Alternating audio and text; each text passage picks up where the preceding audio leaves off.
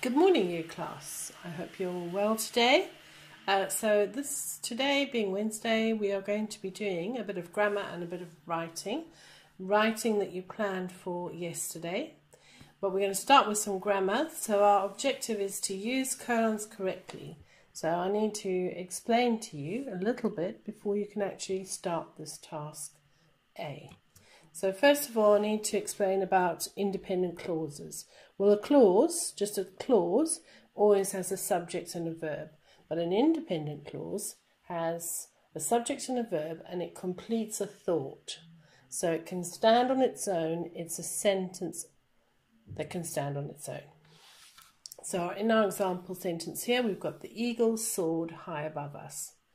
So that is uh, has got a subject, the eagle, it's got a verb, soared. It completes a thought.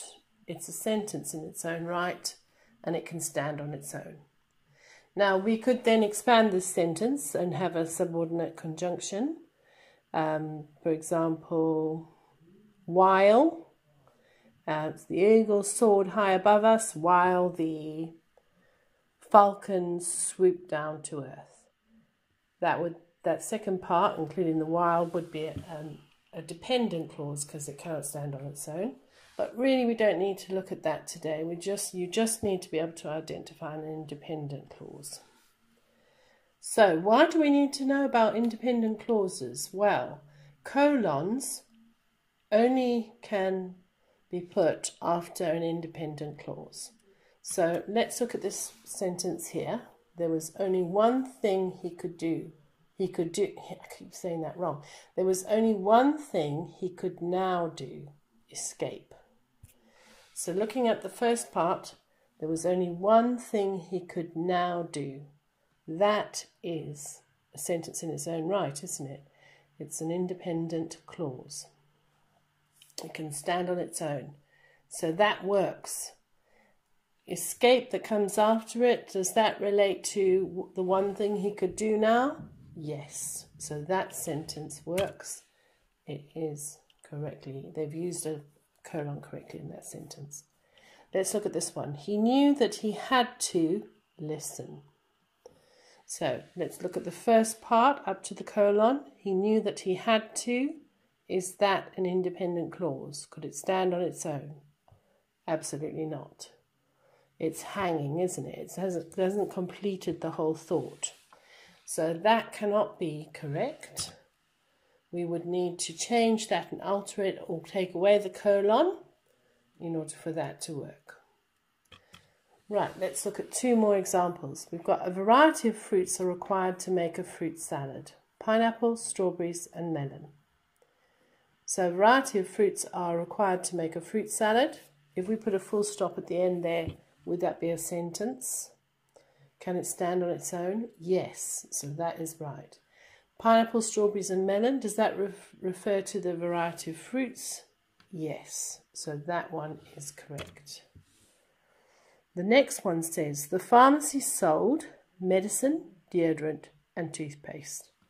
So the pharmacy sold, it, yes, it has a subject, this pharmacy. It has a verb, sold, but does it complete an whole entire thought? No, it is again hanging, it cannot stand on its own. So therefore, this sentence is incorrect. We would need to change this. Now, part of your task might ask you to, uh, ask you to identify whether it's correct and then change it to make it correct.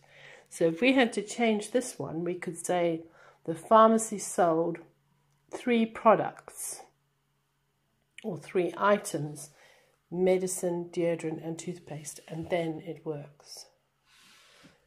Okay, so that should help you get on with your grammar task A. You can pause the video now, or if you like, you can carry on listening and then um, then do all tasks.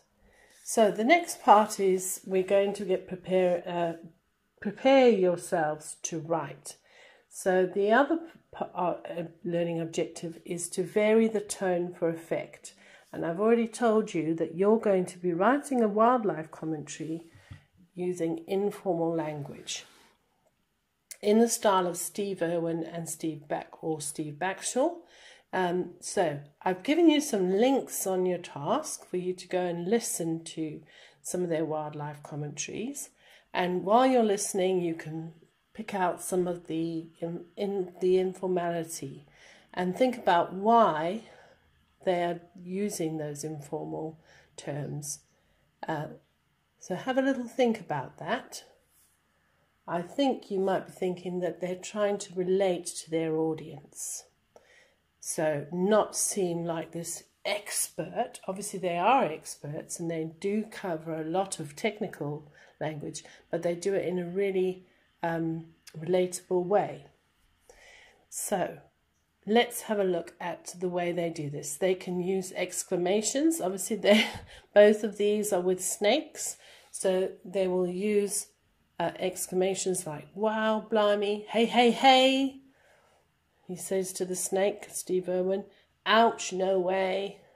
So try and you do that in your commentary as well, using some exclamations. Um, they use colloquial language, which is called slang or non-standard English. So especially to show their accent as well. So Steve Irwin, for example, to show his Australian accent, you might want to change something if you're going to be doing it along an accent line. Um, so we've got gonna, wanna, come here, me mate. Sorry, that sounds English, not Australian. Um, go nuts, looks blue, happy days. Oh, happy days, I've seen my beautiful snake.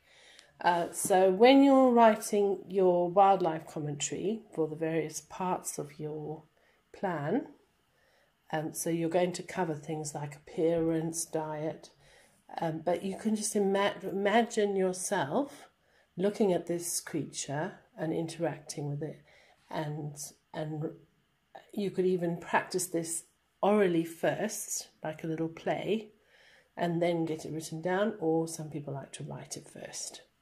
Um, so I'm giving you an example, a model extract, just an extract, it's not the whole thing. So my model example is for the appearance of my creature, which is a mixture of a cat and a rooster and a rhino. Not rhino, a cat, a rooster and a squirrel. Um, so here we, I've called it cat, cataquirrel, cataquirrel. So I hope you can notice some of my informality through colloquialisms I've used through um, exclamations. Core blimey, look at the size of those talons.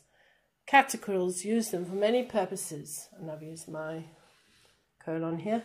Catching their prey, preening their cat-like head, and carrying nesting materials. Talk about handy, eh? Ouch, I wouldn't want to get my eyes scratched out by those devilish claws. They're as sharp as razor blades. So a mixture of the two skills using the informality, the colloquialisms and the exclamations, as well as using a couple of examples of your colons. So good luck and I really um, look forward to seeing your wildlife commentary.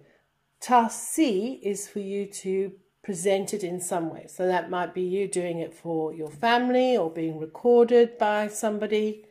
Uh, you could put it into a little video and send it to me. I know uh, some of you did that right at the beginning of our um, virtual lessons. Um, so I think you're going to have great fun with that. And I look forward to all those budding wildlife um, presenters showing me their talents. Thank you and goodbye.